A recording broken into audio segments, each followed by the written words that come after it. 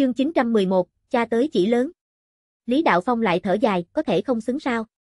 Dù sao cũng là túc thế nhân duyên, hy vọng bọn họ đời này không có quá nhiều gặp trắc trở đi. Lý Nhã Băng há to mồm nói, không phải đâu. Thật có túc thế nhân duyên. Vậy nhưng thật sự là quá động lòng người rồi. Nếu bọn hắn sẽ có gặp trắc trở, vì sao cha ngươi không giúp bọn hắn một thanh?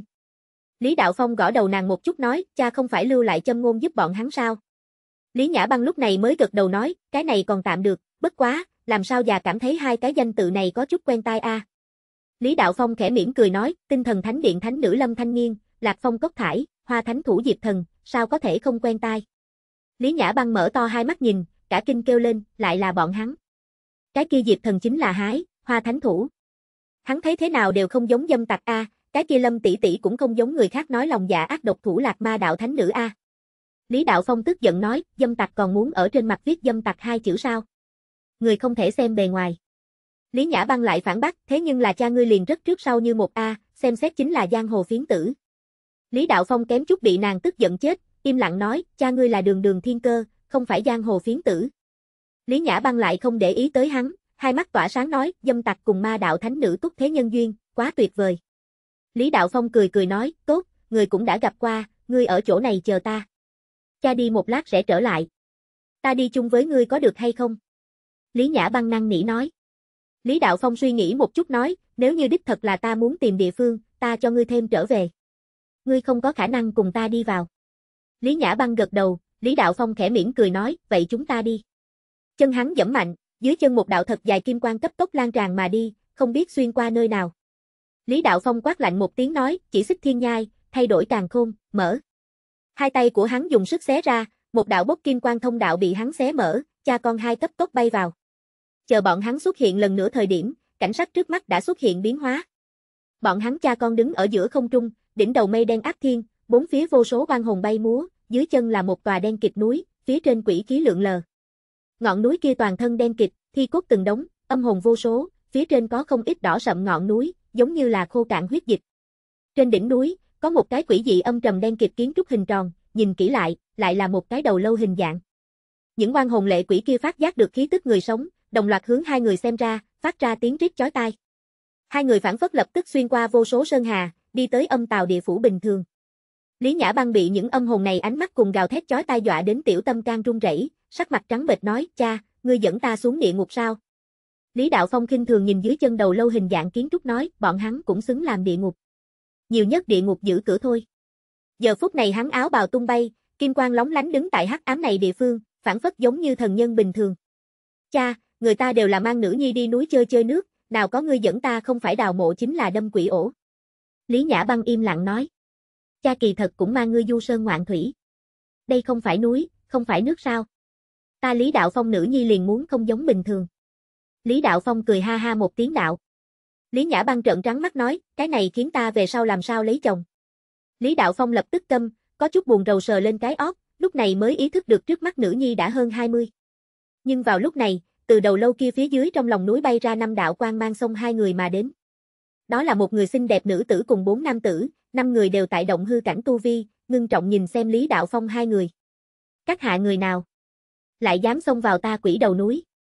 Lý Đạo Phong lấy lại tinh thần nhìn về phía bọn hắn, âm thanh lạnh lùng nói, lăng. Để cho các ngươi quỷ vương đi ra gặp ta. Lớn mật, dám gọi thẳng quỷ vương tính danh, bên trong một cái người mặc áo giáp nam tử lấy thương chỉ vào Lý Đạo Phong quát to. Ở đâu ra đạo sĩ dẫm, không biết sống chết, một cái khác mặt xanh nanh vàng quỷ tướng đối với hắn cũng quát mắng. Lý Đạo Phong ánh mắt như điện, không kiên nhẫn vung tay áo nói, chỉ là âm hồn cũng dám đối với ta hô to gọi nhỏ. Hắn tay áo này vung ra, nam tử mặc áo giáp kia cùng cái kia mặt xanh nanh vàng quỷ tướng trong nháy mắt giống như là bị gió thổi tán bình thường, thần hồn câu diệt. Còn lại ba người lập tức cảm giác tê cả da đầu, đây là quái vật gì? Bọn hắn liền vội vàng hành lễ nói, quỷ vương đang lúc bế quan, còn cần nửa tháng mới có thể tỉnh lại. Lý Đạo Phong lạnh lùng xem tiếp đi, lạnh nhạt nói, đã như vậy, vậy ta gọi hắn đứng lên. Hắn một cước đạp xuống, vô số kim quang từ dưới chân hắn bay ra, chỉ là trong nháy mắt ngay tại dưới chân vẽ ra một bức che khuất bầu trời trận đồ. Trận đồ kia phát ra kim quang chói mắt, chiếu rọi tứ phương, vô số âm hồn bị kim quang soi sáng, trong nháy mắt tan thành mây khói. Ngay cả cái kia ba cái cường đại quỷ vật đều kêu thảm một tiếng, toàn thân khói đen ứa ra, nhưng căn bản không có cách nào chạy trốn. Bọn hắn đành phải liên tục cầu xin tha thứ, tiền bối tha mạng. Tiền bối tha mạng. Lý Đạo Phong lại không quan tâm, dưới chân trận văn càng thêm lóa mắt, đem không ít quỷ vật cho chiếu lên hồn phi phách tán. Bên trong một cái yếu kém quỷ tướng cũng băng tuyết tan rã bình thường, bị triệt để tịnh hóa rơi. Còn lại hai cái quỷ tướng xem ra cũng không kiên trì được bao lâu, vội vàng phát ra chói tai tiếng quỷ khiếu. Rất nhanh, toàn bộ trên núi bắt đầu chấn động, từng đạo khói đen từ trên núi thoát ra, trên không trung ngưng tụ. Rít lên một tiếng vang lên, người nào dám can đảm quấy nhiễu bản vương. Giết ta quỷ tướng âm binh. Một cái cao tới bách trượng quỷ vật từ trên núi ngưng tụ ra, vô số quỷ vụ từ phía sau hắn tuôn ra, ngăn trở kim quang chói mắt. Cái kia hai cái quỷ tướng như nhặt được đại xá, hóa thành hai đạo lưu quang, cụp đuôi chạy trốn. Chỉ gặp cái kia bách trượng quỷ vật mắt bốc hồng quang, mọc ra mặt xanh nanh vàng mặt quỷ. Nó thân có tám tay, trên người còn có như là hài cốt bình thường xương cốt. Quỷ vật này rõ ràng là một cái cảnh giới đại thừa quỷ vương, hắn đứng ở trên núi, một cánh tay hướng Lý Đạo Phong cha con chụp tới.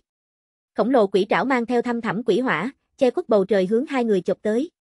Lý Nhã Băng còn là lần đầu tiên nhìn thấy lớn như vậy một cái quỷ vương, Hoa Dung thất sắc nói, cha, tới chỉ lớn.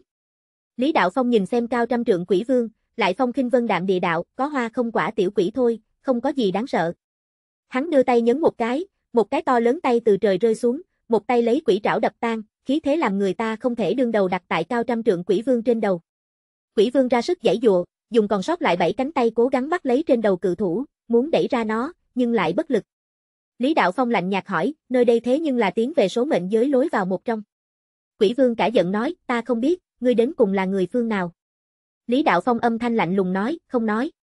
Dưới chân hắn trận pháp đem quỷ vụ đều xua tan, trên tay dùng sức nhấn một cái, ngạnh sinh sinh đem quỷ vương cho đè xuống quỳ xuống. Chương 912, đi mòn giày sắt tìm chẳng thấy. Quỷ vương chỉ cảm thấy khuất nhục không gì sánh được, bi vẫn đang xen giận dữ hét, ngươi đến cùng là ai? Bản vương sẽ không bỏ qua ngươi. Lý Đạo Phong phong kinh vân đạm nói, bản tọa đương đại thiên cơ Lý Đạo Phong, ngươi muốn báo thù, cũng phải có cơ hội này mới được. Ngươi sở dĩ như thế cùng, là bởi vì tại quỷ đầu này núi chi địa, âm khí vô cùng vô tận, ngươi không chết được. Vậy phải xem ai đến. Nghe được đương đại thiên cơ danh hào, quỷ vương như là đòn cảnh tỉnh bình thường, ngu ngơ tại nguyên chỗ. Lý Đạo Phong cười lạnh một tiếng nói, không tin. Cái kia thử một chút. Hắn trên không trung chậm rãi dậm chân hướng về phía trước, theo hắn dậm chân, trên thân kim quang càng phát ra chói mắt, đem quỷ vương trên thân đều chiếu lên tư tư rung động. Lý Đạo Phong miệng lẩm bẩm, để quỷ vương kêu thảm không thôi, trên thân không ngừng bay ra các loại oan hồn, khí tức kịch liệt trượt. Nhiều năm không thấy ánh nắng quỷ đầu sơn trên không mây đen bị kim quang nhiễm lên màu vàng, sau đó một đạo chói mắt thiên quang phá vân. Thiên địa quy tắc tràn vào cái này đặc thù quỷ đầu sơn chi địa, làm bên trong đám ác quỷ từng cái hoảng sợ không thôi, hoảng sợ không chịu nổi một ngày. Quỷ vương là thật lúng cuống, vị này thiên cơ vậy mà dữ dội đến tận đây, hắn thật có thể giết chính mình. Hắn vội vàng nói, thiên cơ bất giận, tiểu vương thật không biết thiên cơ nói tới số mệnh giới là vật gì. Lý Đạo Phong hừ lạnh một tiếng nói, sắp chết đến nơi, còn muốn gạt ta. Thật sự cho rằng ta là thiện nam tính nữ. Hắn đi tới quỷ vương khổng lồ đầu lâu trước, một tay đặt tại trên đầu của hắn, bàn bạc lực lượng tràn vào hắn hồn thể bên trong. Quỷ vương thống khổ hét thảm lên, rất nhanh, Lý Đạo Phong tìm tới chính mình muốn. Hắn hừ lạnh một tiếng nói, mở ra thông đạo, hoặc là hồn phi phách tán. Gặp quỷ vương còn đang do dự, Lý Đạo Phong trên tay bỗng nhiên vừa dùng lực, quỷ vương khổng lồ quỷ thể trong nháy mắt băng tán. Đợi đến hắn gây dựng lại thân thể, còn chưa kịp mở miệng, Lý Đạo Phong lần nữa bóp đem hắn hồn thể tán loạn. Như thế lặp lại mấy lần, quỷ vương đều muốn khóc, đại ca, ngươi để cho ta mở miệng nói chuyện a. Ta nguyện ý mở cửa cho ngươi a. Các loại trong tay quỷ vương khí tức ngay cả đại thừa đều không có thời điểm, Lý Đạo Phong mới dừng lại tay đến, âm thanh lạnh lùng nói, mở, mở, mở, mở. Tu vi rơi xuống đến động hư hậu kỳ quỷ vương liên tục không ngừng gật đầu, giờ phút này hắn chỉ còn lại có cao hơn 20 trượng, cũng không còn trước đó hung uy. Lý Đạo Phong buông tay ra, quỷ vương nơm nớp lo sợ xuất ra một khối phía trên khắc lấy luân chuyển hai chữ quỷ đầu ngọc bội. Nếu là bình thường mở ra cửa lớn, cần trận pháp cùng chú ngữ phối hợp, cũng cần số mệnh giới bên kia đồng ý. Nhưng thời khắc này quỷ vương nhìn xem hung thần này ác sát Lý Đạo Phong, cũng không lo được càng nhiều. Hắn trực tiếp thiêu đốt hồn lực, cưỡng ép triệu hoán chung quanh tử khí, mở ra một đạo đen kịch cửa hang. Vì thế hắn vốn là chỉ có động hư hậu kỳ thực lực, lần nữa ngã xuống động hư trung kỳ, có thể nói tổn thất nặng nề.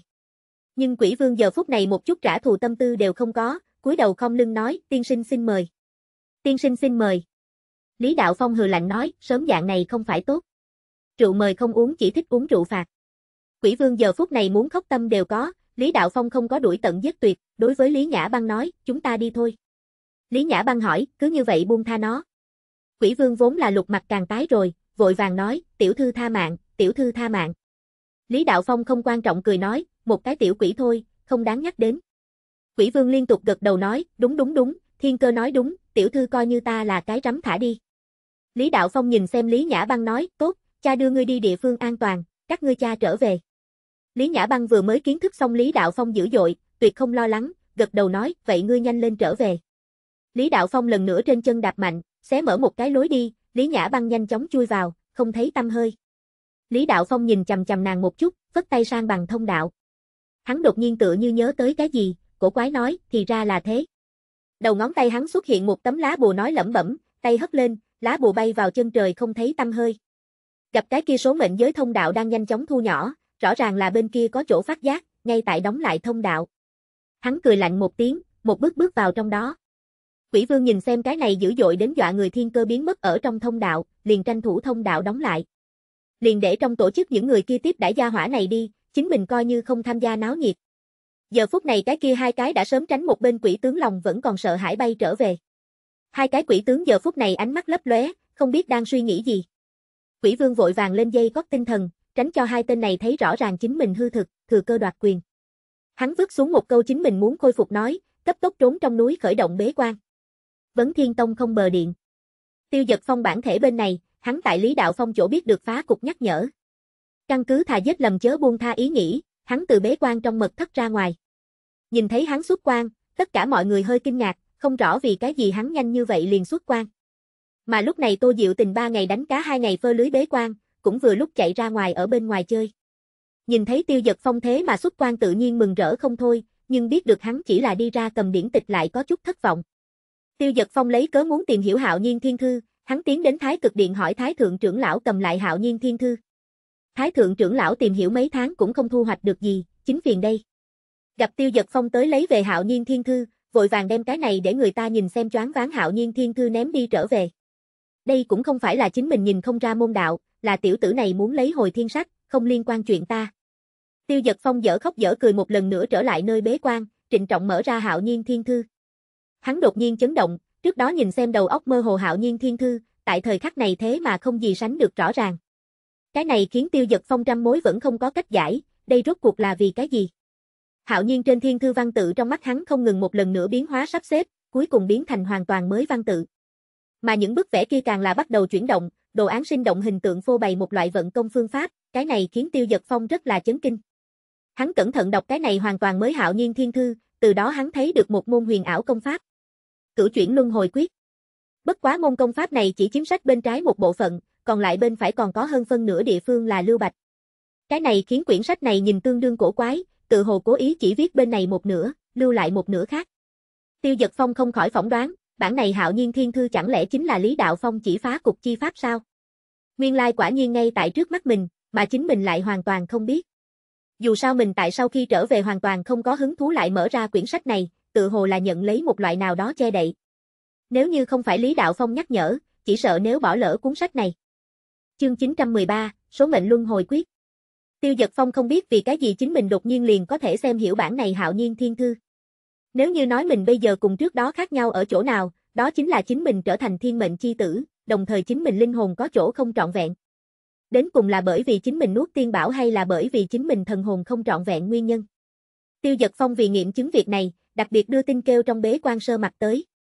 Sơ mặt mặc dù không biết Tiêu giật Phong tìm nàng chuyện gì, hay là xuất quan tìm tới. Đến về sau, Tô Diệu Tình không yên lòng hai người cô nam quả nữ chung sống một phòng, đặc biệt đi theo vào. Tiêu giật Phong nhìn vẻ mặt giảo hoạt Tô Diệu Tình, bất đắc dĩ cười một tiếng. Hắn cũng không lo được càng nhiều, xuất ra hạo nhiên thiên thư hỏi, sư tỷ, ngươi xem hiểu bản này thiên thư sao? Sơ mặt cùng Tô Diệu Tình đồng thời tiếp cận kích cỡ đi qua, chăm chú nhìn xem bản này thiên thư. Tô Diệu Tình nhìn một hồi, cũng cảm giác choáng váng, bưng bít lấy đầu lui về phía sau mấy bước. Nàng cười khổ nói, cái này sách nát hay là nhìn như vậy không hiểu, nhìn thấy người choáng váng. Sơ mặt lại thấy tập trung tinh thần, sau đó nghi ngờ nói, Tô sư muội, ngươi tại sao lại thấy choáng váng?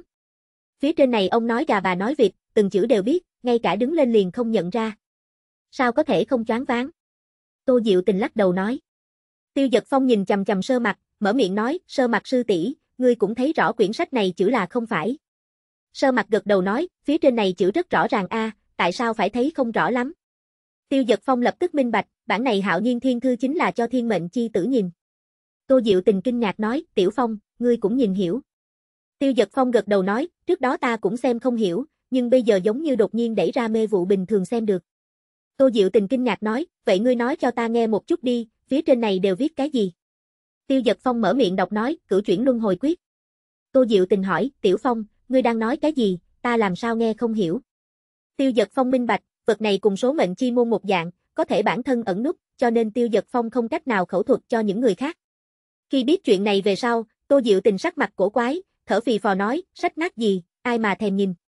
Tiêu Giật Phong nhịn không được cười lên, nhưng sơ mặt lại lắc đầu nói, sư đệ, ta thấy cùng ngươi thấy tự hồ có chút khác biệt.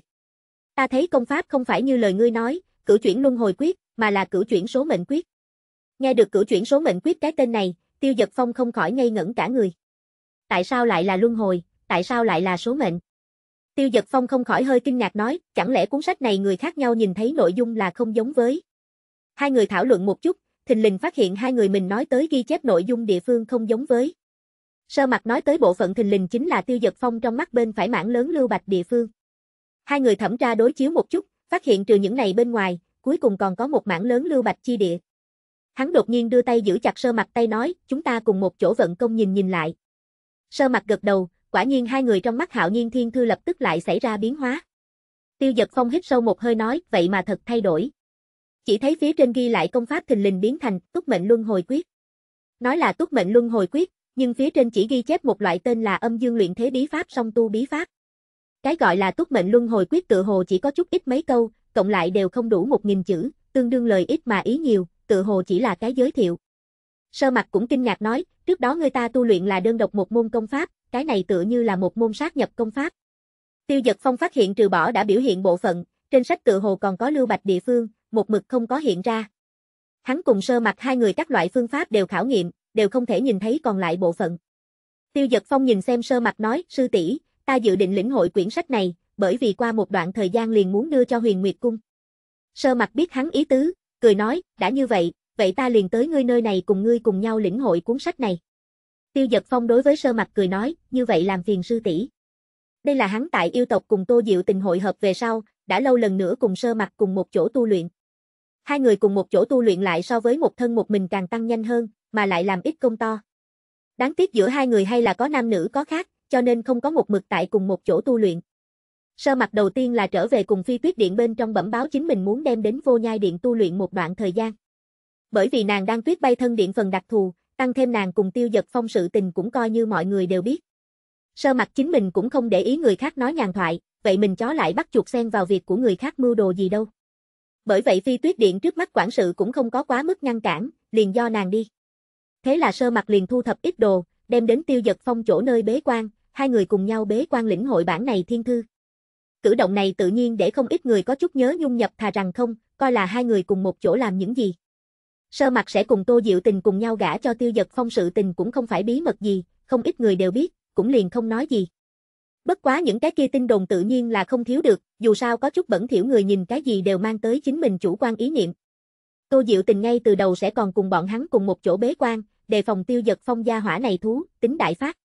Nàng tự hồ không có cân nhắc đến, chính mình ở bên trong, tiêu giật phong thú, tính đại phát nàng cũng chạy không thoát tình huống. Nhưng gặp tiêu giật phong nghiêm trang cùng sơ mặt thảo luận, hai người si mê với bản này hạo nhiên thiên thư, hoàn toàn không nhìn thấy bộ dáng của nàng. Cái này khiến nàng rất im lặng, đặc biệt là hai người nói chuyện phím bởi vì liên quan đến hạo nhiên thiên thư, tại tô diệu tình nghe tới liền hoàn toàn là thiên thư. Rất nhanh nàng liền không chịu nổi tính tình, thỉnh thoảng chạy ra ngoài chơi. Nàng kỳ thật đối với tiêu giật phong vẫn có chút tín nhiệm, chỉ là kiếm cớ cùng hắn ngốc một khối thôi. Tiêu Giật Phong cùng sơ mặt cứ như vậy xa vào đến đối với bản này hạo nhiên thiên thư trong tham ngộ, không cách nào tự kiềm chế. Cũng may môn công pháp này không cần hao phí quá nhiều tinh thần, chỉ cần một chút xíu đem lạc ấn vào thức hải liền có thể.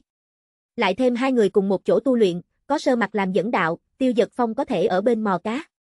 Cho nên nhìn như phức tạp lĩnh ngộ quá trình, kỳ thật phần lớn thời gian Tiêu Giật Phong đều tại hồn du thiên ngoại, thao túng phân thân. Mặc dù tiến độ sẽ khá chậm, nhưng tối thiểu sẽ không ảnh hưởng đến hắn đối với phân thân khống chế. Nam rất chi địa. Tiêu giật phong phân thân cùng Lâm Thanh Nghiên cùng Lý Đạo Phong cha con phân biệt về sau, tiếp tục hướng về phía trước tiến lên.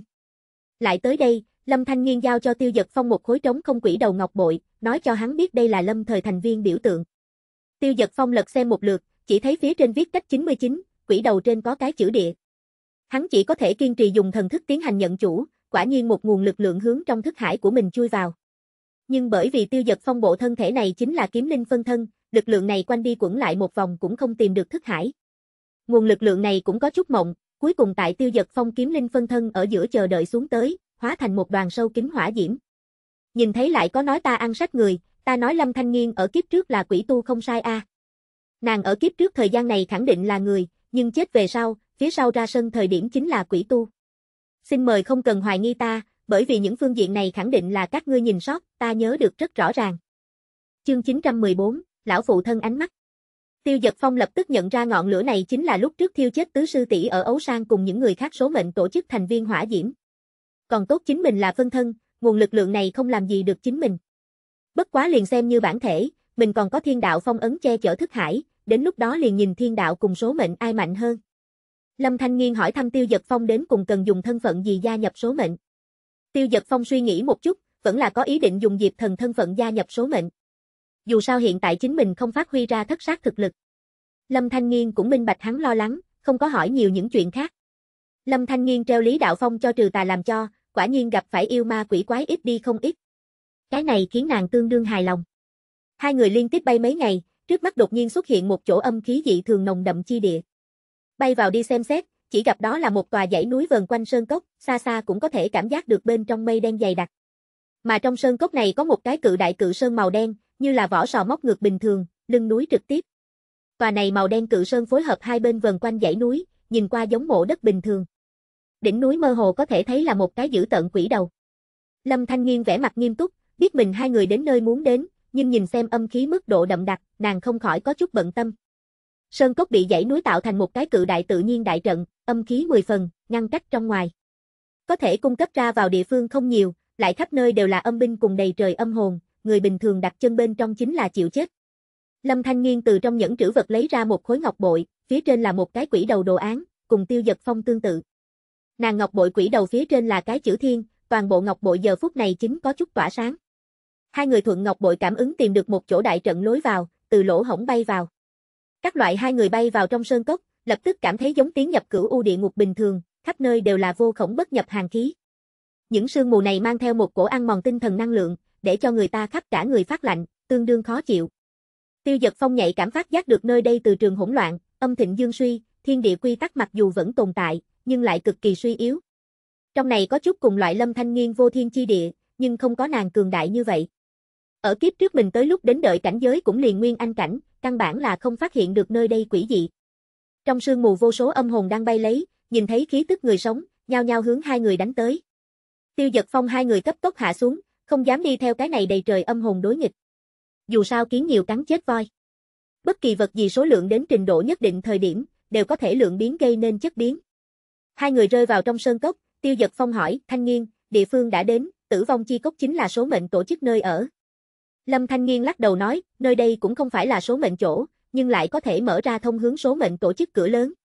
Tiêu Giật Phong lập tức minh bạch, hắn hỏi, nói như vậy, số mệnh tổ chức là tại một cái cùng hoang thiên bí cảnh tương tự địa phương.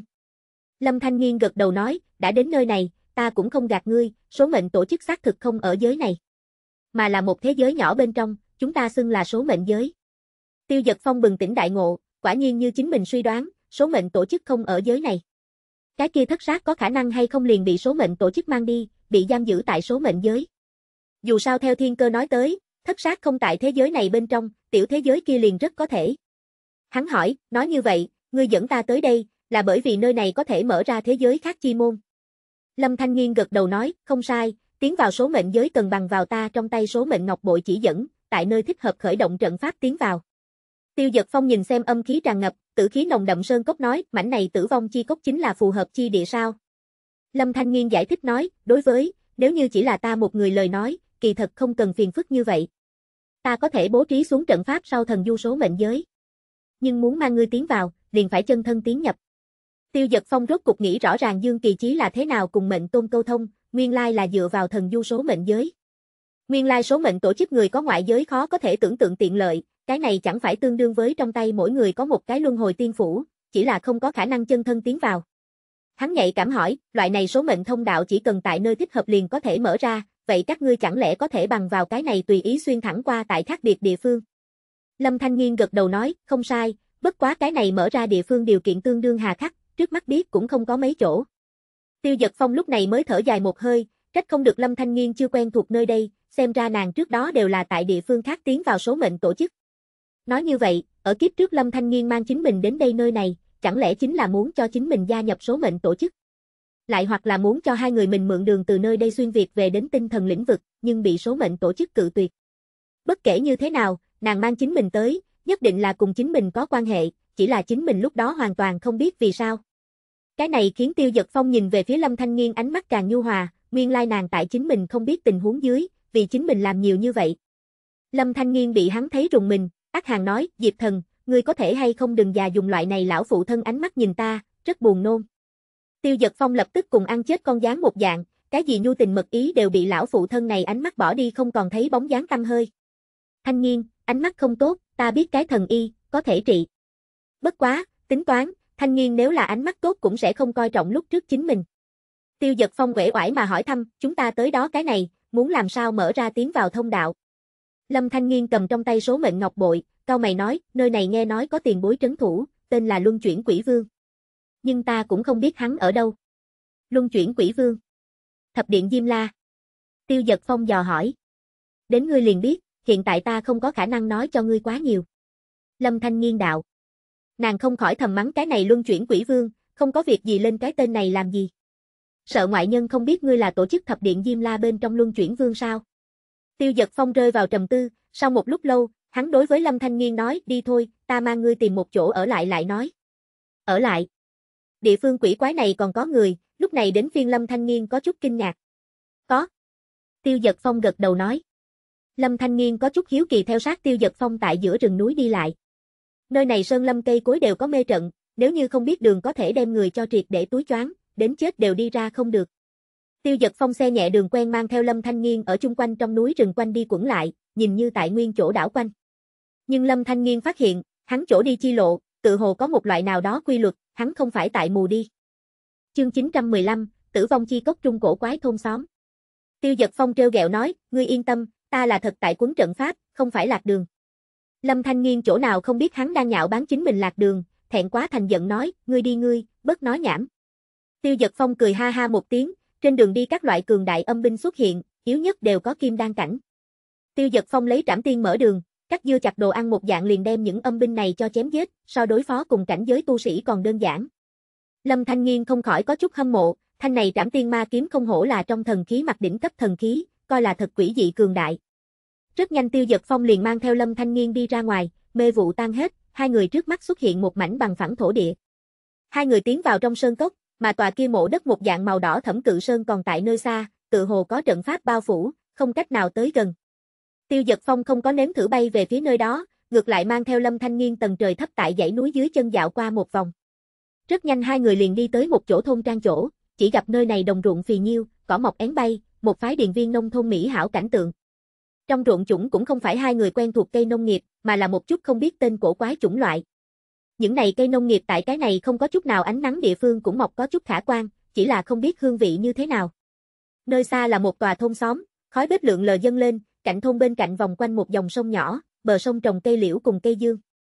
Lâm Thanh Nghiên vạn phần kinh ngạc, địa phương quỷ quái này, thế mà thật là có người. Tiêu Dật Phong mang theo nàng dọc theo rộng lớn con đường đi hướng trong thôn, hai bên đường các loại lấy một loạt rậm rạp cây dương. Theo hai người đến gần thôn, người trong thôn cũng phát hiện hai người, đầu thôn chơi đùa tiểu hài sợ hãi kêu lấy hướng trong thôn chạy tới. Cha, có người vào thôn tới. Chỉ có một cái bím tóc sừng dê tiểu nữ hài không có đi xa, giống như là bị sợ choáng váng một dạng, ngơ ngác nhìn đến gần hai người. Tiêu giật phong sớm tại trên đường liền đã thi pháp đem hai người trên tay ác long liên biến mất, tránh cho để những người này nhìn thấy. Lâm Thanh Nghiên vô ý thức thần thức đảo qua, phát hiện tiểu nữ hài đích thật là người, không phải quỷ, không khỏi càng thêm kinh ngạc. Tiêu giật phong ngồi sổng xuống dò hỏi, tiểu cô nương, các ngươi thôn trưởng có đây không? Tiểu nữ hài lúc này mới đột nhiên lấy lại tinh thần, trong lòng run sợ gật gật đầu, hỏi các ngươi là người hay là quỷ? Tiêu giật phong cười nói, ngươi cảm thấy thế nào? Ta không biết, tiểu nữ hài lắc đầu nói. Rất nhanh trong thôn đại nhân liền nhao nhao chạy ra, từng cái nam nam nữ nữ vây quanh tiêu giật phong hai người. Lúc này một vị nữ tử tuổi trẻ vội vàng chạy đến, xa xa liền hô, mới mưa, mau tới đây. Gặp tiểu nữ hài không có phản ứng, Nàng cấp tốc tiến lên một thanh lôi đi tiểu nữ hài kia, tránh về trong đám người. Tiêu Giật Phong nghe được cái tên này, không khỏi nhìn nhiều tiểu nữ hài kia một chút, Khương Tân Vũ, nguyên lai là ngươi. Không đến không kịp suy nghĩ nhiều, rất nhanh một tên tráng hán đi ra cười nói, hai vị là ngoại giới mà đến khách nhân. Tiêu Giật Phong gật đầu cười nói, tại hạ họ Diệp, đây là phu nhân ta, hai vợ chồng ta đi ngang qua nơi đây, ngộ nhập trong rừng, đi ra thời điểm chính là ở đây. Không biết nơi đây vì sao chỗ. Lâm Thanh Nghiên vừa định đạp chết cái này nói lung tung gia hỏa, liền bị Tiêu Giật Phong truyền âm nói, tình huống đặc thù. Nàng lúc này mới nhịn xuống không có phát tác, hừ, không cho cái giải thích, giết chết ngươi. Tráng hán hiền lành cười nói, đây là tân quý thôn, ta là cái thôn này thôn trưởng, ta họ đổ, các ngươi gọi ta đổ thôn trường là có thể. Tiêu giật phong khách khí nói, đổ thôn trường, như hôm nay cũng sắp tối rồi, không biết thôn trưởng có thể lưu chúng ta tá túc một đêm. Đổ thôn trường chần chờ một chút, tiêu giật phong vội vàng nói, chúng ta sẽ không quấy rầy quá lâu, có thể cho đầy đủ tiền bạc. Tiền bạc? Đó là cái gì? Đổ thôn trường sửng sốt một chút. Sau đó hắn rất nhanh tỉnh ngộ lại, cười nói, trong thôn hồi lâu không có tới khách, không có phòng khách, sợ chậm trễ hai vị. Không sao, hai người chúng ta có một nơi đặt chân liền có thể. Tiêu giật phong cười nói. Đỗ thôn trường nhìn về phía ngay từ đầu lao ra ôm đi tiểu nữ hài nữ tử trẻ tuổi nói, Tân Ninh, nhà các ngươi giống như có phòng trống, không bằng liền để hai vị này tá túc một đêm thế nào.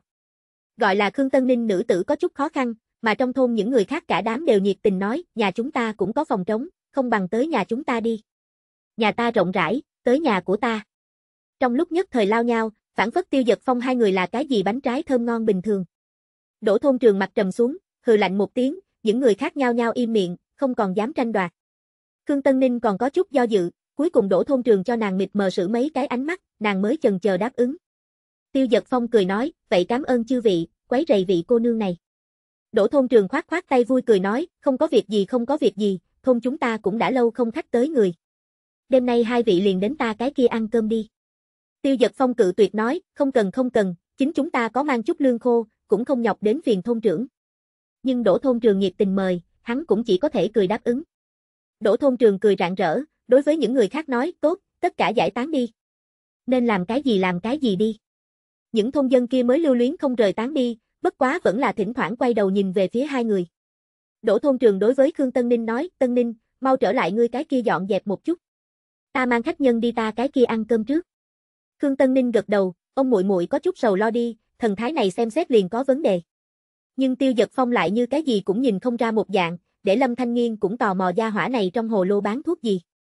Hai người đi vào trong thôn, Lâm Thanh Nghiên phát hiện trong thôn cùng phổ thông thôn không có gì khác biệt, nhìn qua hết thảy như vậy. Duy nhất để nàng cảm thấy có chút cổ quái là trong thôn từng nhà tự hồ cũng trồng cây hòe hoặc là hợp hoang thụ ở trong sân. Mà trong thôn cơ hồ đều là thanh tráng niên cùng tiểu hài, ngay cả 45 tuổi trở lên người đều không có nhìn thấy một cái. Cái này khiến Lâm Thanh Nghiên thầm nghĩ thôn này quả nhiên có vấn đề. Tiêu Giật Phong nhìn như bình thường hỏi từ bản thân cùng nhau đi tới, có nhiều oan hồn quỷ quái, vì sao nơi đây không có? Đỗ thôn trường thì giải thích nói nơi đây có cao nhân bày ra trận pháp, tí hộ thôn bên trong cư dân, không nhận quỷ quái quái nhiễu. Tiêu Giật Phong thì phản phất cái gì cũng đều không hiểu một dạng tấm tắc lấy làm kỳ lạ. Hắn tại đỗ thôn trường trong nhà còn cùng hắn yên lòng nhậu nhẹt, không có chút nào cảnh giới. Trên ghế đổ thôn trường liên tục yêu cầu, để bọn hắn ở trong thôn chờ lâu mấy ngày, chờ hắn có rảnh lại mang hai người rời núi. Tiêu giật phong tự nhiên vội vàng nói tạ ơn, nói liên tục muốn ở trong thôn nhìn nhiều nhìn cái này khó được phong thổ. Lâm Thanh Nghiên không rõ tiêu giật phong dự định, bất quá hai người có tu vi tại thân, những thôn dân này dù là có ý đồ gì, nàng cũng không sợ.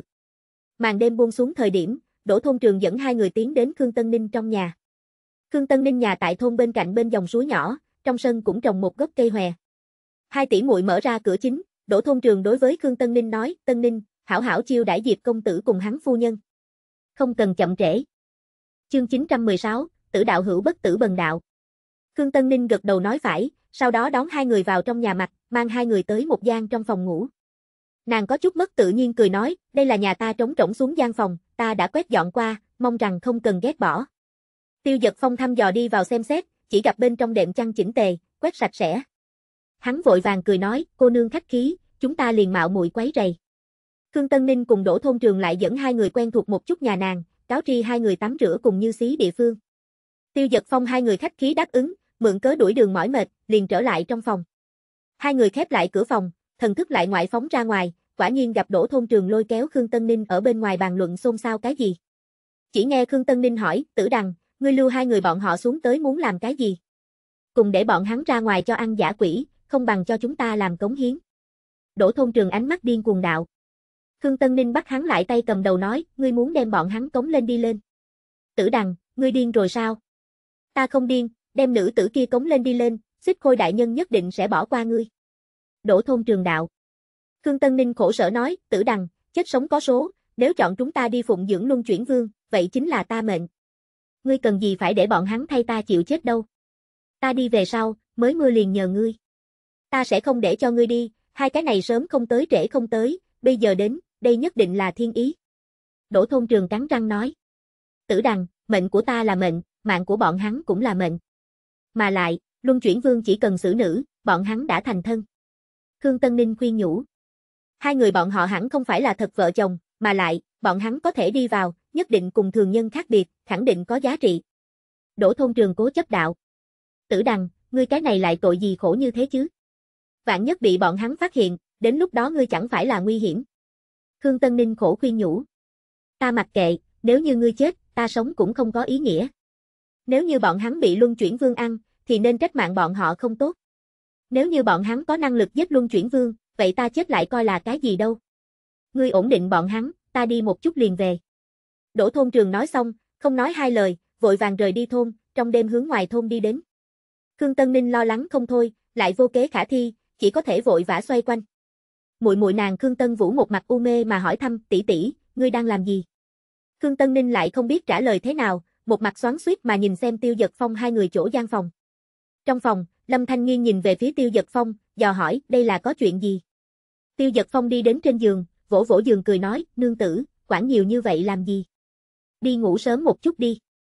Lâm Thanh Nghiên kéo một cái ẩn hình ác long liên, đem Tiêu Giật Phong từ trên giường giật xuống. Nàng dương lên nắm tay nhỏ, âm thanh lạnh lùng nói, dám chiếm ta tiện nghi, tin hay không đánh ngươi. Mau nói. Tiêu Giật Phong bất đắc dĩ nói, ngươi không phải đoán được sao? Cái thôn này không bình thường, là mảnh quỷ nuôi nhốt thôn. Cho nên trong thôn những cái kia niên kỷ lớn đều bị quỷ đầu này trong núi quỷ ăn. Vòng này chuyển vương còn cưới vợ. Lâm Thanh Nghiên hỏi. Tiêu Dật Phong tiếp tục nói, đối với, ngươi nói vị kia luân chuyển vương hẳn là nơi này quỷ vương, hắn nuôi những người này, không chỉ vì ăn. Mỗi 10 năm một lần huyết nguyệt chi dạ, vị này quỷ vương liền sẽ trong thôn nữ tử bên trong kết hôn với một thê tử. Xem ra lần này hẳn là đến phiên vị này đổ thôn trường ý trung nhân, tân ninh cô nương.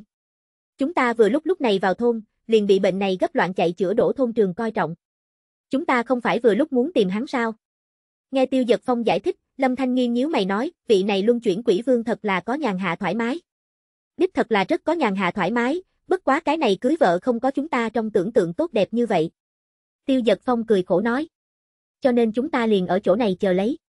Các loại cái này đổ thôn trường báo cáo đi lên, luân chuyển vương phái người đến đây. Lâm Thanh Nghiên hỏi. Hắn tới tìm chúng ta, không thể so với chúng ta tìm hắn càng tốt sao? Tiêu Dật Phong cười nói. Lâm Thanh Nghiên nghĩ nghĩ cũng là cái này để ý, dù sao nàng có số mệnh tổ chức lệnh bài, cũng không lo lắng luân chuyển vương không cho nàng mở cửa. Trong nội tâm nàng ngược lại là có một nghi hoặc khác, vì cái gì Tiêu Dật Phong đối với nơi này quen thuộc như thế dáng vẻ, thế nhưng là người nơi này lại hết lần này tới lần khác không biết hắn. Chẳng lẽ lão quái vật này là vô số năm trước tới, nguyên lai người trong thôn đều chết hết, không biết hắn.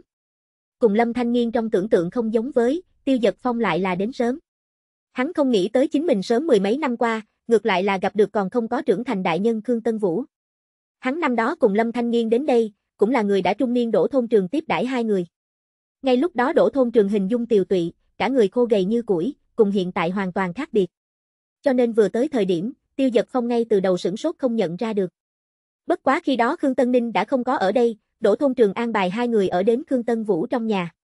Lúc đó bị luân chuyển quỷ vương tuyển chọn lại là Khương Tân Vũ, bất quá cách đại hôn còn có 3 năm. Đỗ thôn trường hay là muốn đem hai người bán đến bảo toàn Khương Tân Vũ, nhưng bị hiền lành Khương Tân Vũ đem tình hình thực tế đều cáo tri hai người. Cuối cùng Lâm Thanh Nghiên hiểu rõ tình huống về sau, biểu thị nàng có biện pháp, để Tiêu Dật Phong cùng Khương Tân Vũ ở trong thôn đợi nàng. Lâm Thanh Nghiên thản nhiên đi theo đến đây quỷ xoa đi, đi lần này chính là 2-3 ngày, chờ hắn trở lại thời điểm, thần sắc thất lạc. Nàng nói Khương Tân Vũ sự tình đã bị nàng giải quyết, luân chuyển quỷ vương đáp ứng nàng, cái kia 10 năm không sẽ lấy thân. Tiêu Dật Phong khi đó dọa gần chết, còn tưởng rằng Lâm Thanh Nghiên bị quỷ vương khi dễ, hoặc là thụ bỉ khuất gì. Suýt chút nữa thì phóng đi tìm quỷ vương liều mạng, Lâm Thanh Nghiên vừa bực mình vừa buồn cười, thẳng mắng hắn đầy đầu bẩn thỉu. Nàng thản nhiên buông ra khí tức để Tiêu Dật Phong kiểm tra, vần kia chuyển vương một cọng tóc gáy đều không có đụng phải nàng, tiêu giật phong mới yên lòng. Khi hắn hỏi thăm vì cái gì như vậy thất lạc thời điểm, nàng chỉ nói là đường này không thông, liền không có nhiều lời. Đoán chừng khi đó nàng là tiến nhập số mệnh giới bên trong, nàng có thể đi con đường kia đi tinh thần lĩnh vực. Nhưng bởi vì ngay lúc đó mình không thể, cho nên nàng lại từ bỏ trở về. Bây giờ suy nghĩ một chút, cho luân chuyển vương 10. Không không không cái lá gan cũng không dám đối với Lâm Thanh Nghiên làm cái gì. Dù sao lúc đó Lâm Thanh Nghiên chịu thua về sau, Dư Nhược Yên đã buông lời chỉ rõ muốn bảo trụ Lâm Thanh Nghiên. Đắc tội một cái có được thế lực to lớn độ kiếp tu sĩ, tuyệt đối không phải cái gì sáng suốt sự tình. Về sau tại đổ thôn trường sinh nhờ bên dưới, hai người mình mang theo Khương Tân Vũ rời đi thôn, ra ngoài ngoại giới. Hắn thì tự vẫn ở trong nhà, vì chính mình trước đó hành động tạ tội. Bây giờ nghĩ đến, hắn đoán chừng là đã sớm không muốn sống, chỉ là vì chiếu cố Khương Tân Vũ mới sống tạm xuống dưới.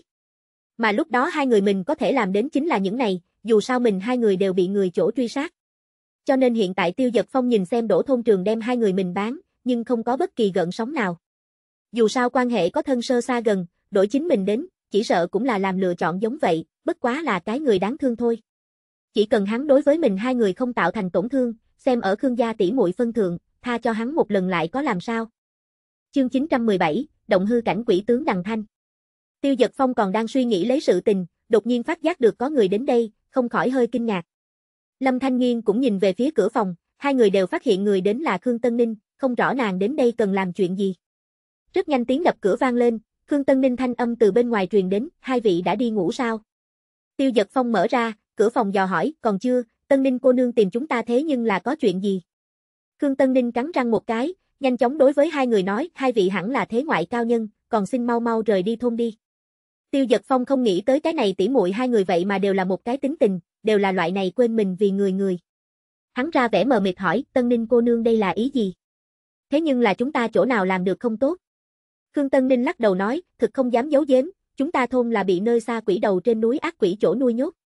Bây giờ thôn trưởng muốn đem hai vị hiến cho quỷ vương, đổi lấy tự do của ta. Ta thực sự không muốn hai vị chết không rõ ràng. Còn xin các ngươi nhanh chóng rời đi, cũng đừng trách tội thôn trưởng, hắn cũng là vì ta mới làm như vậy. Lâm Thanh Nghiên có chút động dung hỏi, chúng ta bèo nước gặp nhau, cô nương vì sao đem việc này cáo tri chúng ta, liền không sợ chết sao?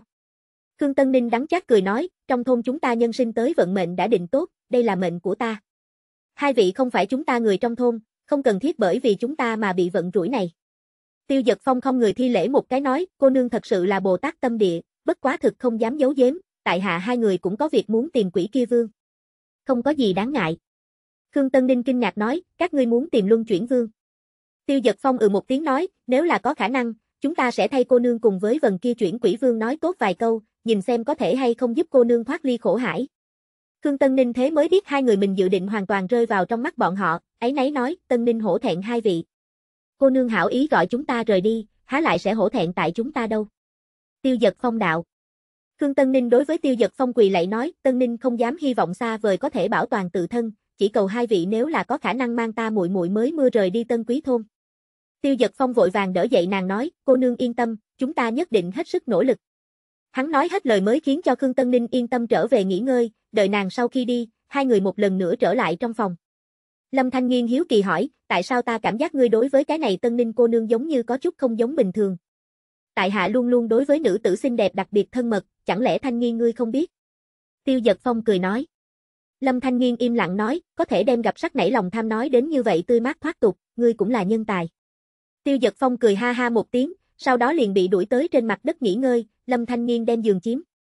Sau nửa đêm, đột nhiên hai người đều cảm giác được một cổ khí âm hàn đánh tới, trong sân xuất hiện một đạo âm khí mười phần thân ảnh. Người kia còn mang theo đổ thôn trường, tiêu giật phong hai người phát giác được về sau, trước tiên mở mắt. Động hư cảnh quỷ tu.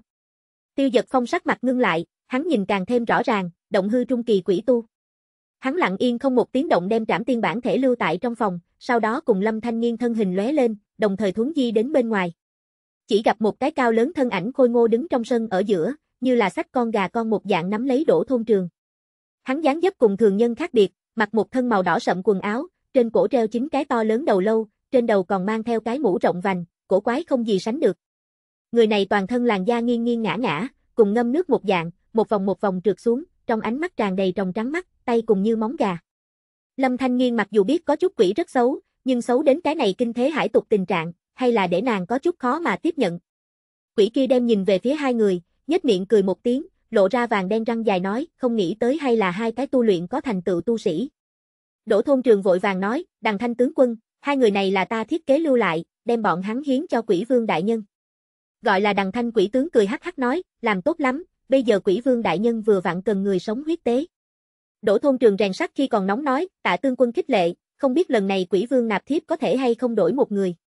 Đằng thanh từ chối cho ý kiến nói, rồi nói sao? Hắn nhìn về phía tiêu giật phong hai người hỏi, các ngươi là từ khoanh tay gót chân ta đi đâu? Hay là ta đánh gãy tay chân mang đi? Lâm Thanh Nghiên xuất ra khối kia quỷ đầu ngọc bội âm thanh lạnh lùng nói, ta đều không chọn, ngươi có thể nhận biết vật này. Nàng kích hoạt lên khối kia quỷ đầu ngọc bội, tản mát ra một cổ huyễn hoặc khó hiểu khí tức. Nàng tin tưởng nếu luân chuyển vương là số mệnh người của tổ chức, dưới mắt cái này xem xét chính là ngồi ở vị trí cao quỷ tướng hẳn là cũng chạy không thoát. Tiêu Dật phong hay là bằng vào trong tay mình khối ngọc bội kia mới cảm ứng được cổ khí tức này, nếu không căn bản không phát hiện được. Đằng thanh sững sờ nhìn xem khối ngọc bội kia, sau đó cũng xuất ra một khối không sai biệt lắm ngay tại tỏa sáng quỷ đầu ngọc bội. Hắn cung kính nói, không nghĩ tới là quý khách lâm môn. Tại hạ đằng thanh, va chạm hai vị quý khách, mong rằng hai vị rộng lòng tha thứ. Đỗ thôn trường trợn tròn mắt, kinh ngạc hỏi, đây là có chuyện gì? Đằng thanh tướng quân, cái này. Đằng thanh không kiên nhẫn nhìn hắn một cái, một thanh đẩy ngã hắn nói, nơi này không có người nói chuyện địa phương.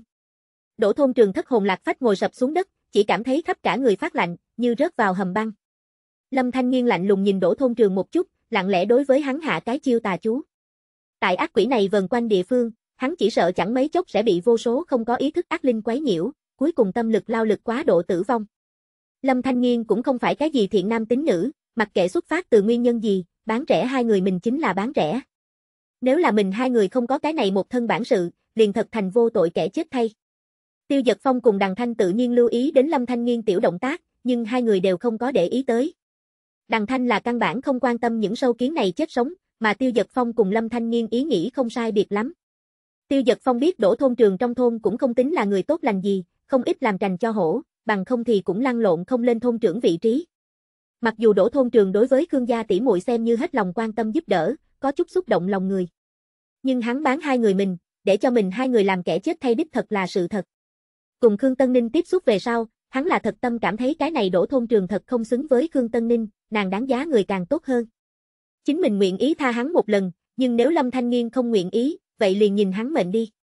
Nếu như hắn không còn làm ác còn tốt, tà niệm cả đời, vạn ác từ trước đến nay. Làm xong đây hết thảy, Lâm Thanh Nghiên âm thanh lạnh lùng nói, dẫn đường đi. Đằng Thanh gật đầu nói phải, sau đó điều động một mảnh quỷ vụ, đằng không mà lên. Tiêu giật phong hai người ngự khí mà bay, đuổi sát đằng Thanh mà đi, có đằng Thanh dẫn đường, hai người không có gặp âm hồn công kích.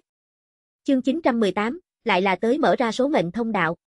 Đằng Thanh mang theo hai người quanh đi quẩn lại, rất nhanh hai người liền vòng qua tòa này tự nhiên đại trận, tới gần màu đen cự sơn.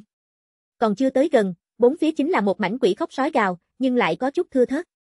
Trên núi khắp nơi rách nát khắp trốn, mặc dù có không ít người mặc cũ nát áo giáp âm binh ở trên núi tuần tra, vô số âm hồn lệ quỷ ở trên núi ra ra vào vào. Nhưng bọn hắn khí tức đều có chút quể oải, cái này khiến Tiêu Dật Phong có chút buồn bực. Nơi đây tự hồ cùng trong tưởng tượng cường đại quỷ thành có chút không giống, đây là có chuyện gì? Rất nhanh hai người liền thấy cái kia cực đại không gì sánh được khô lâu sơn, bọn hắn đi theo đằng thanh đi vào khô lâu sơn bên trên, bay vào đến nộ trương lấy khô lâu trong miệng. Tại khô lâu trong miệng chính là một cái hình sợi dài đại sảnh, bên trong đốt quỷ hỏa xanh mơn mởn, trên đỉnh treo từng bộ khô cạn thi thể. Trên mặt đất đen kịt trên tảng đá giống như là nhuộm đầy đỏ sậm huyết dịch bình thường, hai bên có từng cây răng nanh bình thường cong cong nhô ra. Hành lang cuối cùng là một cái giữ tận quỷ đầu, mở ra răng nanh miệng lớn, trong mắt đốt xanh biết hỏa diễm. Quỷ đầu phía trước chính là một tòa do đầu lâu chồng lên to lớn vương tọa, giờ phút này trên vương tọa không có người. Cái này quỷ dị âm trầm tràn cảnh để cho hai người đều có chút khó chịu. Trong đại sảnh, giờ phút này có một tư thái cực kỳ xinh đẹp nữ tử váy đỏ đứng ở bên trong, phát giác được đằng thanh trở về, kinh ngạc quay đầu. Nữ tử kia bóng lưng kinh diễm, chính diện cũng có chút tuyệt sắc, tóc dài thẳng đứng chỗ đùi, khuôn mặt kiều diễm, hóa thành nùng trang, lại có vẻ không gì sánh được phù hợp.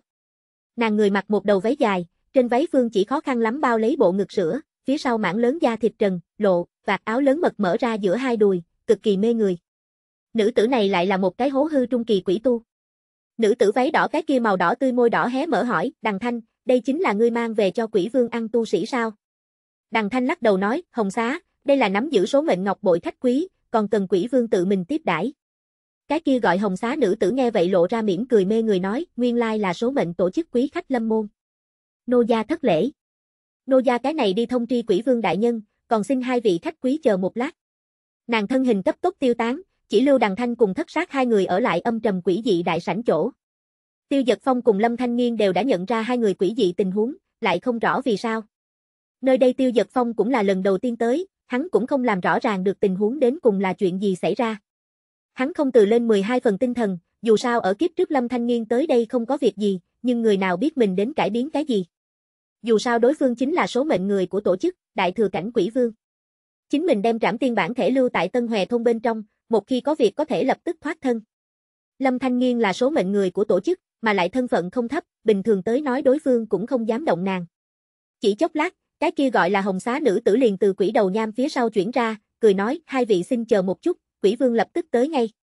Hai người gật đầu, rất nhanh một cổ khí tức âm hàng từ bên trên bay xuống, một đạo hắc khí lượng lờ thân thể xuất hiện tại khô lâu kia trên vương tọa.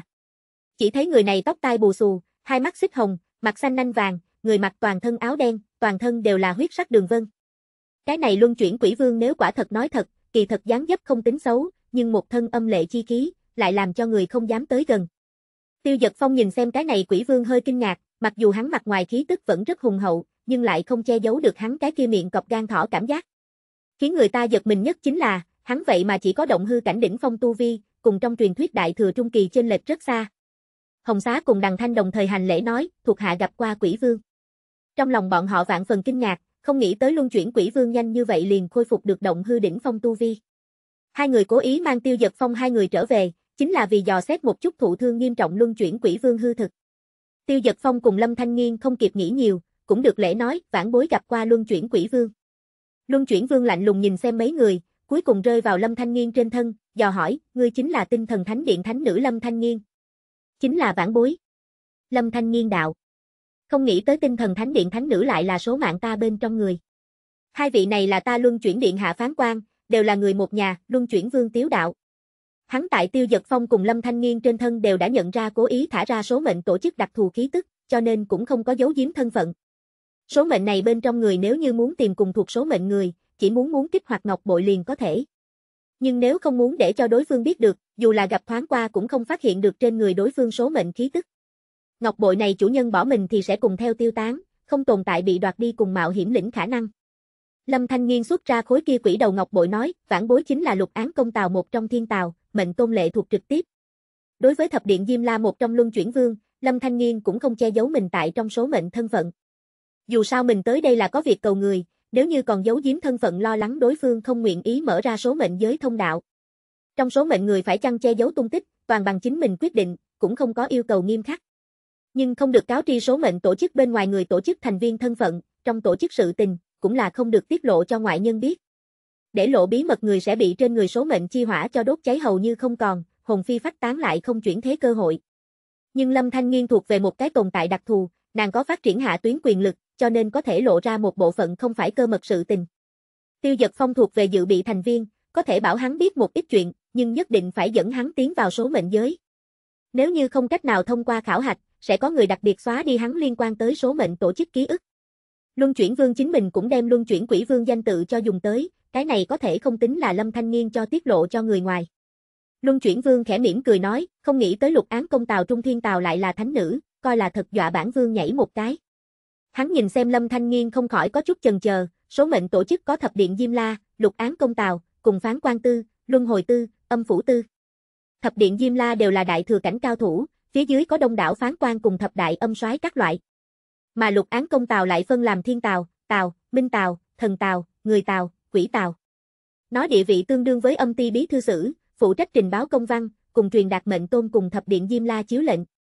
Lâm Thanh Nghiên vị này thiên tào địa vị đặc thù, tại số mệnh trong tổ chức gần với bọn hắn thập điện Diêm La, thuộc về mệnh tôn lệ thuộc trực tiếp. Hắn nhíu mày hỏi, không biết thánh nữ đến đây cần làm chuyện gì? Khó được là tìm kiếm che chở.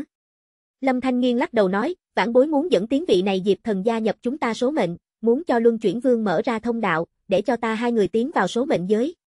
Nghe chút lại là để mở ra số mệnh thông đạo, Luân Chuyển Vương mặt liền đen lại, đây không phải khi dễ người sao. Vừa mới bị đè xuống mở ra thông đạo, bây giờ lại tới. Chương 919, tình huống thay đổi bất ngờ. Luân chuyển quỷ vương thế mới biết tiêu giật phong còn không phải tổ chức thành viên chính thức, chỉ là lâm thời thành viên. Hắn cố nén lửa giận, dò hỏi, không biết vị đạo hữu này cùng thánh nữ là quan hệ như thế nào? Vì sao muốn gia nhập số mạng ta? Hắn gọi Diệp Thần, chính là ta tinh thần thánh điện thiên chi kiêu tử. Đối với số mệnh tổ chức cảm thấy hứng thú, cho nên ta muốn tiến cử gia nhập tổ chức. Lâm Thanh Nghiên cười nói. Luân chuyển vương lại hỏi, không biết thánh nữ chuyến này có thể có mệnh tôn hoặc là mặt khác thập điện Diêm Vương chi mệnh. Lâm Thanh Nghiên lắc đầu nói, không có. Luân chuyển vương đột nhiên cười hỏi, thánh nữ kia đến đây ta cái này có thể có kinh động chính đạo hoặc là người của ma đạo. Lâm Thanh Nghiên ánh mắt có chút lấp lóe, trả lời, người chính đạo không biết, tinh thần trong thánh điện có mấy người biết được. Luân chuyển vương cáp cáp cười nói, thánh nữ sao phải nói láo, thánh nữ cùng tinh thần thánh điện quyết liệt, há lại sẽ cáo tri tinh thần thánh điện người. Luân chuyển vương mặc dù tin tức linh thông, nhưng lại không biết ta chính là giả quyết liệt, cũng không phải là thật rời đi thánh điện. Lâm Thanh Nghiên cười nói. Luân chuyển vương nhược có chút suy nghĩ, sau đó nói, mở ra thông đạo cần chút thời gian chuẩn bị, thánh nữ cùng vị đạo hữu này không ngại ở chỗ này ở lại. Lâm Thanh Nghiên lắc đầu nói, vãn bối còn có chút sự tình, sẽ không quấy rầy. Qua chút thời gian lại đến. Tiêu Giật Phong cũng ý thức được chuyện không thích hợp, không người nói, vãn bối hai người còn có chuyện, xin cáo từ trước. Luân chuyển vương sầm mặt lại nói, nếu đã tới, làm gì đi vội vã đâu. Sau ba ngày chính là ta tiệc cưới, lưu lại uống chén rượu mừng lại đi như thế nào. Lâm Thanh Nghiên từ chối, thực sự có chuyện quan trọng khác, đến lúc đó nhất định đến đây uống tiền bối rượu mừng. Hai người còn muốn chạy, nhưng cửa đại sảnh cái kia to lớn khô lâu đột nhiên khép lại mở lớn quỷ khẩu, đem hai người cho giam ở bên trong. Lâm Thanh Nghiên nhìn xem luân chuyển quỷ vương hỏi, quỷ vương đây là ý gì? Luân chuyển vương lại quỷ dị cười nói, nào có tân nương tử đến tiệc cưới làm thiên tài tới. Trong tràng đám người nghe đều sững sờ, tiêu giật phong mặt lạnh lấy hỏi, luân chuyển vương lời này ý gì? Luân chuyển vương tiếu đạo, ý tứ của bổn vương còn chưa đủ rõ ràng sao? Hai người các ngươi nếu đã tới cũng không cần đi. Thánh nữ không bằng liền lưu lại cùng bản vương vui kết liền cành, cộng tu gắn bó suốt đời, trợ bản vương khôi phục thực lực đi. Lâm Thanh Nghiên giận quá thành cười, hỏi, Luân chuyển vương, ngươi thật coi ta không chỗ nương tựa phải không? Luân chuyển vương cũng không che giấu, cấp cấp đại tiếu đạo, ngươi hẳn là khi chính mình hay là tinh thần thánh điện thánh nữ phải không? Ngươi bây giờ rời đi tinh thần thánh điện, thân là tinh thần thánh thể, lại người mang thần khí, thế nhưng là cái bánh trái thơm ngon đâu. Lâm Thanh Nghiên không nghĩ tới chính mình thoát ly tinh thần thánh điện, vậy mà lại rơi xuống tình cảnh lúng túng như vậy. Tiêu Dật Phong cũng đột nhiên nhớ tới, bây giờ Lâm Thanh Nghiên không phải thời điểm đó Lâm Thanh Nghiên. Năm đó Lâm Thanh Nghiên có thể bình yên vô sự, là bởi vì Diêu Nhược Yên đã công khai biểu thị muốn bảo đảm nàng. Hiện tại Lâm Thanh Nghiên trên mặt nổi là đã mưu phản tinh thần thánh điện, căn bản không có bất luận cái gì hậu trường. Mà nàng tinh thần thánh thể thể chất đặc thù, lại thêm người mang trọng bảo, quả thực là mang ngọc có tội. Chính mình làm sao lại không để ý đến như thế một cất trạ. Lâm Thanh Nghiên âm thanh lạnh lùng nói, ngươi liền không sợ mệnh tôn cùng số mệnh tổ chức trách tội ngươi phải không? Không đề cập tới việc này còn tốt, vừa nhắc tới việc này, Luân Chuyển Vương liền tức giận. Hắn cả giận nói, mệnh tôn dựa vào cái gì truy cứu trách nhiệm tại ta? Nếu không phải vì thay tổ chức trông coi cửa, ta về phần bị đánh thành bộ dáng như thế. Tổng binh hao tướng, ngũ đại quỷ tướng bị cái kia thiên cơ đánh cho chỉ còn lại có hai cái, ngay cả cảnh giới đều rơi xuống đến tận đây. Mà lại bản vương cũng không giết ngươi, chỉ là mượn ngươi tinh thần thánh thể hải nạp bách xuyên chi lực, giúp ta trở lại đại thừa thôi. Nghe vậy hai người đều sửng sốt một chút, tuyệt đối không nghĩ tới hai người mình tới không phải lúc. Nếu như bình thường hai người mình đến, chỉ sợ quỷ này vương sẽ còn đối với mình hai người lấy lễ để tiếp đón. Nhưng bây giờ vòng này chuyển quỷ vương vừa mới bị người trọng thương, ngay cả cảnh giới đại thừa cũng bị mất, vội vã khôi phục thực lực. Mà Lâm Thanh Nghiên tinh thần này thánh thể sớm không tới trễ không tới, thời gian này đến, chẳng phải là đưa dê vào miệng cọp. Tiêu Dật Phong càng là đem Lý Đạo Phong tên vương bác đảng kia đều mắng xấu, ngươi nha tìm người, chính là như vậy tìm. Lý Đạo Phong cái này không đến không sao, vừa đến đã đem hai người mình cho hố đến bay lên. Đại ca, ngươi liền không thể đem quỷ này vương làm thịt rồi sao? Trước đó hố Lý Đạo Phong, bây giờ bị gia hỏa này trong lúc vô hình hố trở về. Quả nhiên đi ra lăn lộn là phải trả. Lâm Thanh Nghiên âm thanh lạnh lùng nói, Luân chuyển vương, ngươi bớt làm nằm mơ ban ngày. Ta gả heo gả chó cũng sẽ không gả cho ngươi. Luân chuyển vương cáp cáp cười to nói, thánh nữ, ngươi sớm không tới trễ không tới, có thể thấy được đây là thiên ý, ngươi liền cam chịu số phận đi. Lâm Thanh Nghiên âm thanh lạnh lùng nói, ngươi thật coi ta triệt để cùng tinh thần thánh điện quyết liệt phải không? Luân chuyển quỷ vương cười lạnh nói, thánh nữ, không cần lại hư trương thanh thế. Tinh thần thánh điện đã hạ đạt đối với ngươi lệnh truy sát. Ta giết ngươi, không chừng bọn hắn còn phải cảm ơn ta đâu, lại nói, ai lại dám đến ta cái này đòi người. Tiêu Giật Phong cùng Lâm Thanh Nghiên liếc nhau, hai người cấp tốc hướng đóng chặt quỷ nha chỗ bay đi, trong tay đồng thời xuất thủ. Nhưng quỷ này răng đóng chặt, hai người công kích đánh vào phía trên, không đau không ngứa, căn bản trung chuyển không được. Luân chuyển vương đối với Hồng Xá cùng Đằng Thanh Đạo, hai người các ngươi còn đứng ngay đó làm gì? còn không mời khách người lưu lại. Hồng Xá cùng Đằng Thanh hai người không người xưng là, sau đó đồng thời xuất thủ, ngăn cản đường đi của hai người. Hai cái lỗ hư cảnh quỷ tướng mặc dù trước đó bị thương, nhưng thực lực hay là không kém, đồng thời xuất thủ hướng hai người công tới. Tiêu Giật Phong giờ phút này trên tay cũng không có trảm tiên, chỉ là lấy ác long liên hóa ra từng đạo xiền xích khóa hướng hai người. Bởi vì hắn thân thể chính là trảm tiên chỗ cấu thành, tự mang trảm hồn chi lực cũng làm cho ác long liên như là tỏa hồn liên bình thường, để cho hai người có chút kiên kỵ. Mà Lâm Thanh Nghiên trên tay chém tương tư phụ lên một tầng mông lung ánh trăng, chia ra làm mang nhiều lấy tinh thần công kích chém về phía trước. Hai cái lỗ hư cảnh quỷ tướng trong lúc nhất thời vậy mà không làm gì được hai người bọn họ, bất quá cái này cùng hai cái quỷ tướng đổ nước có quan hệ. Tiêu Giật Phong hai người đều nhạy cảm phát giác được hai cái quỷ tướng trên tay không dùng quá nhiều khí lực, có chút mèo vờn chuột treo tức cảm giác. Luân chuyển vương lạnh lùng nhìn xem trên trận giao thủ, âm thanh lạnh lùng nói, không cần bị thương thánh nữ, về phần Diệp Thần cũng bắt sống hắn. Hồng Xá cùng Đằng Thanh mở miệng xưng là, Tiêu Giật Phong trong tay ác long liên điên cùng vũ động, trải rộng toàn bộ sân bãi. Lâm Thanh Nghiên nếm thử muốn dùng tháng dời đào tẩu, lại phát hiện nơi đây không gian đã triệt để bị đông cứng, căn bản là không có cách thuấn di ra ngoài. Nàng nhanh chóng hướng Tiêu Giật Phong truyền thanh nói, Diệp Thần, lúc này là ta hố ngươi, ngươi nếu là có biện pháp liền mau trốn, ta thay ngươi cản bọn họ lại. Ta đi, ngươi làm sao bây giờ? Tiêu Giật Phong trả lời. Loại tình huống này có thể đi một cái là một cái, ngươi có biện pháp cũng nhanh đi. Lâm Thanh Nghiên đạo.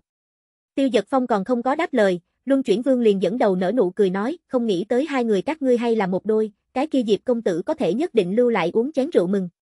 Chương 920, tự mình đào tẩu. Lâm Thanh Nghiên không nghĩ tới Luân Chuyển Vương vậy mà có thể nghe trộn đến hai người truyền âm, sắc mặt biến hóa. Tiêu Giật Phong thì lạnh lùng đối với Luân Chuyển Quỷ Vương nói, Luân Chuyển Vương ngươi thật cảm thấy ăn chắc chúng ta. Luân Chuyển Vương cáp cáp đại tiếu đạo, vậy bản vương coi như chờ mong thủ đoạn của ngươi. Hắn bỗng nhiên đưa tay đè ép, một cổ khổng lồ quỷ khí ngưng tụ thành quỷ trảo, hướng hai người đập xuống. Tiêu Giật Phong hai người vội vàng tụ tập tại một khối, hợp lực chống cự, nhưng hai người đều bị khổng lồ quỷ khí cho trấn áp lại, không thể động đậy. Luân chuyển vương A A cười nói, tinh thần thánh điện thiên chi kiêu tử diệt thần, ta ngược lại muốn xem xem luyện thành quỷ sẽ lấy sau, còn có thể có mấy phần bản sự. Lâm Thanh Nghiên gian nan mở miệng nói, ngươi thả hắn, việc này không có quan hệ gì với hắn. Luân chuyển vương lãnh lạnh nhạt nói, thả hắn chỉ có thể lưu lại tai họa, ngươi hay là xem ta như thế nào đem hắn hút khô. Ngươi yên tâm, đã các ngươi tình thâm nghĩa trọng, ta sẽ đem hắn luyện thành quỷ đem, hầu ở bên cạnh ngươi. Tiêu giật phong âm thanh lạnh lùng nói, luân chuyển vương, ngươi chỉ sợ không biết đi, thanh nghiên chính là diêu nhược yên con gái ruột. Ngươi nếu dám động nàng một cọng tóc gáy, tinh thần thánh điện tuyệt sẽ không buông tha ngươi, ngươi tốt nhất nghĩ rõ ràng. Lâm Thanh Nghiên kinh ngạc nhìn về phía Tiêu Giật Phong, tự hồ nghĩ mãi mà không rõ, vì cái gì hắn sẽ biết việc này. Nghe vậy Luân Chuyển Vương lại giống nghe được cái gì chuyện cười lớn bình thường, cấp cấp đại tiếu đạo, ngươi coi bản vương là ba tuổi đứa con nít không bằng sao. Tiêu Giật Phong cười lạnh một tiếng nói, nếu ngươi không tin cứ hỏi Thánh hậu Diêu Nhược Yên. Nghe được Diêu Nhược Yên danh tự, Luân Chuyển Quỷ Vương nhiều ít vẫn là có chút kiên kỵ. Hắn nhìn về phía Lâm Thanh Nghiên dò hỏi, hắn nói thế nhưng là thật. Lâm Thanh Nghiên cố chấp lắc đầu nói, không phải, ta cùng Thánh hậu không hề quan hệ. Nàng nhớ tới thiên cơ nói tới, đây chính là chính mình do hắn mà ra kiếp nạn. Nhưng đưa tay xem xét, phía trên phù chú vẫn như cũ ảm đạm không ánh sáng. Tiêu giật phong gấp, gia hỏa này làm sao đến lúc này còn như thế cố chấp. Hắn tiếp tục nói, luân chuyển vương, ngươi cần phải hiểu rõ, đắc tội diêu nhược yên, tử vong chi cốc có thể bảo trụ ngươi sao. Luân chuyển vương suy nghĩ một lát sau, cấp các đại tiếu đạo, bản vương lại không giết nàng, chỉ là cùng nàng vui kết liền cành. Đợi ta cùng nàng thành thân sau, thật coi như, cái kia thánh hậu hay là bản vương nhạc mẫu, đây không phải rất tốt sao. Tiêu giật phong không nghĩ tới gia hỏa này thúi như vậy không biết xấu hổ, đều lão cổ động một dạng đồ chơi, còn không biết xấu hổ nhận Diêu Nhược Yên khi nhạc mẫu. Lâm Thanh Nghiên càng là xì một tiếng kinh miệt nói, ta chết cũng sẽ không gả cho ngươi thứ quỷ này. Luân chuyển vương nhìn về phía tiêu giật phong âm trầm nói, chỉ cần giết ngươi, ai nào biết nàng tại trên tay của ta. Các loại gạo nấu thành cơm, bản vương trở lại đại thừa cảnh, tại cái này tử vong chi trong cốc, Diêu Nhược Yên lại có thể làm khó dễ được ta. Tiêu giật phong biết mình một khi rơi vào trong tay hắn, Lâm Thanh Nghiên chỉ sợ cũng thật nguy hiểm. Hắn đối với Luân Chuyển Vương lãnh tiếng nói, Luân Chuyển Vương, ngươi nếu dám thương nàng, ta nhất định để ngươi muốn sống không được, muốn chết không xong. Luân Chuyển Vương khinh thường nói, dưới thềm chi tù, còn dám khẩu xuất cùng ngôn. Tiêu Giật Phong chủ động thu hồi cột vào trên thân hai người ác long liên, sau đó lấy ra một quyển cuối cùng che trời quyển trục kích hoạt. Hắn nhìn về phía Lâm Thanh Nghiên phức tạp nói, Thanh Nghiên, ngươi chờ ta trở về. Tại phía xa Tân Hòe thôn trảm tiên bản thể trong nháy mắt phát động triệu hoán, tiêu giật phong hóa thành từng đạo khói đen trong nháy mắt phóng tới đóng chặt quỷ nha. Luân chuyển vương không nghĩ tới còn có một chiêu này, đưa tay đi bắt, lại không bắt được tiêu giật phong. Hắn phát ra một tiếng kịch liệt quỷ rống, đem tiêu giật phong hồn thể chấn vỡ, nhưng tiêu giật phong hay là thế không thể đỡ biến mất ở trong đại điện. Luân chuyển quỷ vương mặt âm trầm xuống, âm thanh lạnh lùng nói, lại là vô hình hồn thể, ngay cả ta đều bị lừa gạt được. Hắn đối với Đằng Thanh nói, Đằng Thanh, ngươi phong tỏa tử vong chi cốc, đào sâu ba thước cũng cho ta tìm hắn đi ra. Đằng Thanh gật đầu nói phải, sau đó hóa thành một đạo khói đen hướng ra phía ngoài lao đi. Luân chuyển quỷ vương đưa tay đem lâm thanh nghiên linh lực cùng thần thức đều cho cầm cố lại, lại đem chém tương tư cho vây ở trong cơ thể nàng. Hắn đối với Hồng Xá nói, Hồng Xá, đưa nàng cho hảo sinh xem trọng. Sau ba ngày, ta liền muốn cưới vị này thánh nữ. Hồng Xá gật đầu nói phải, Lâm Thanh Nghiên giờ phút này toàn thân linh lực bị trói buộc, cùng cái nữ tử bình thường bình thường. Hồng Xá nhẹ nhàng bước liên tục đi đến bên cạnh nàng, cười nói, thánh nữ hay là không nên phản kháng, miễn cho ta không cẩn thận đã thương ngươi, vậy coi như không đẹp. Lâm Thanh Nghiên hừ lạnh một tiếng nói, thiếu đụng ta, chính ta đi. Nàng nhìn về phía Luân Chuyển Vương lãnh tiếng nói, Luân Chuyển Vương, muốn cưới ta, tuyệt đối là ngươi cả đời này quyết định sai lầm nhất. Luân Chuyển Vương để Hồng Xá mang nàng xuống dưới, dự định sau ba ngày liền cử hành đại hôn. Đây cũng không phải hắn có nhiều kiên nhẫn, mà là ba ngày sau mới là huyết nguyệt chi dạ. Đến lúc đó tử vong chi cốc trên không sẽ xuất hiện một vòng sát khí cùng quỷ khí ngưng tụ mà thành huyết nguyệt. Đối với quỷ tu tới nói, đến lúc đó giữa thiên địa không có một tia thiên đạo phát tắc, đây là đột phá cùng tu luyện bí pháp cơ hội thật tốt. Giờ phút này chính là lúc nửa đêm, bóng tối bao trùm đại địa. Rất nhanh toàn bộ tử vong chi cốc tự nhiên đại trận cấp tốc đóng lại, đem toàn bộ tử vong chi cốc phong bế. Đầy trời lệ quỷ cùng âm sai, từ quỷ đầu sơn bên trên bay ra, che khuất bầu trời, bầy quỷ loạn vũ. Bọn hắn khắp nơi tìm kiếm tiêu giật phong chỗ, hy vọng có thể đem hắn cho bắt về. Càng ngày càng nhiều âm hồn lệ quỷ từ quỷ đầu sơn bay ra, rất nhiều xông về Tân Hòe thôn, cái này khiến người trong thôn kinh hoảng không thôi. Mà tiêu giật phong thông qua lâu dài khoảng cách truyền tống, cấp tốc tụ đến rơi vào Tân Hòe thôn Khương Tân Ninh nhà trong phòng. Hắn từ trên thân kiếm ngưng tụ ra, cả người sắc mặt trắng bệch, khí tức quể oải. Hắn là sung làm trảm tiên kiếm linh bị thân kiếm cưỡng ép thu hồi, loại khoảng cách này cưỡng ép triệu hoán, đối với hắn hao tổn cực lớn. Mà lại luân chuyển quỷ vương cuối cùng bỗng chốc kia đem hắn trảm tiên hồn thể rống tán, cũng may mắn hắn thần hồn không tại trên phân thân, không phải vậy không chết cũng thương. Ngưng tụ thân hình về sau, hắn chuyện thứ nhất chính là xuất ra trước đó còn dư lại quyển kia che trời quyển trục kích hoạt, che đậy thiên cơ. Mặc dù nơi đây quy tắc chi lực rất yếu, nhưng nếu như sống một thời gian lâu, khó đảm bảo sẽ không bị thiên đạo phát hiện. Mình bây giờ thế nhưng là một cái hắc hộ, người không thể lộ ra ngoài ánh sáng.